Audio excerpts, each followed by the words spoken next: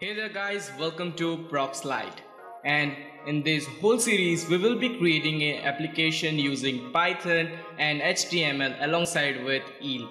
So basically this will be our all new tutorial series that will let you know more about the all new series of tutorial.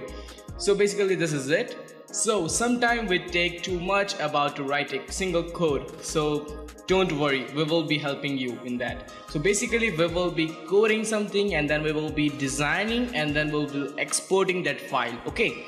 So First of all, code more than your average. We will be helping you to create a best software using our platform or our tutorial series. So stay subscribed Next thing that smart use of our design. We are designing some HTML and CSS front end or UIs for you guys so that you can use them in your application. And in this tutorial series, you will be learning more about this.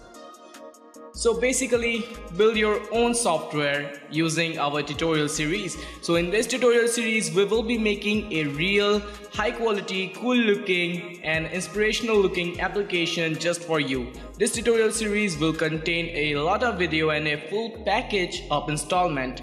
Basically we will be using Python and JavaScript alongside with HTML. So if you are a beginner then don't worry we will be helping you and to build your own responsive app also.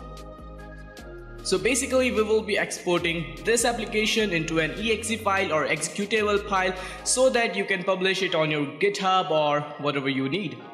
So basically this is it to boost up your business with us. You can contact us and you can watch all the series that we are posting right now. So basically future is all yours. No, to know more about it just subscribe and hit that bell icon.